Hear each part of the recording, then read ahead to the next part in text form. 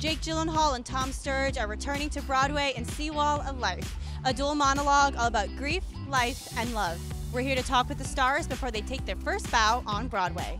I think we're living in a really sort of isolated time, even though we are part of a real global community and the world is changing in a lot of ways. And I think this is a show that really forces you to sit down and just go back through your memories of the people that you love. And I think that's why this show is so special right now. Both pieces of writing are really honest and sort of incredibly uh, idiosyncratic and truthful. And it was really unexpected to me to read two pieces that are about men talking so openly about how they feel and about fatherhood and being sons and sort of their own fragilities and sensitivities. And I think we don't really hear that narrative very much. So I was really struck. It was the most beautiful piece of writing that I'd ever read. Also written by a friend of mine, Simon Stephens, who I did my first play with. This is my third play with him, and then added into that this guy. Jake and Tom are really amazing actors, and they both bring this really detailed but also very sort of sensitive way of performing.